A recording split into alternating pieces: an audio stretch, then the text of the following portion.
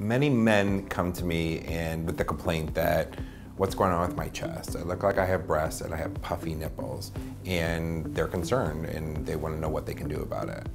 The reason why they have puffy nipples is because they probably have some level of gynecomastia. Gynecomastia is the presence of benign breast tissue in a man.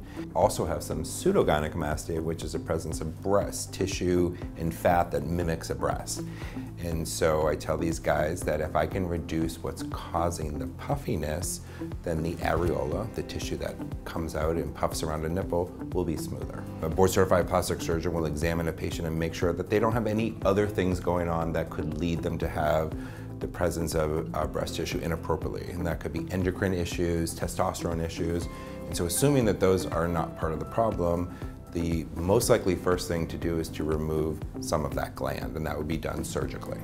So to remove that gland, I would make an incision around the areola, so that's a small sort of uh, around half the way around the areola, and it heals actually quite well. The surgery would be done with some anesthesia, maybe a little sedation, and the recovery is fairly quick.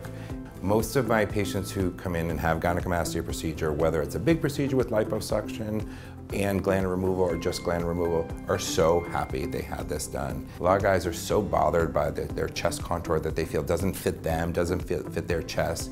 They feel like they missed out on a lot. They're maybe not on vacations, they're not taking their shirt off at the pool or the beach, and they just feel so much more themselves. It's just such a great procedure to do.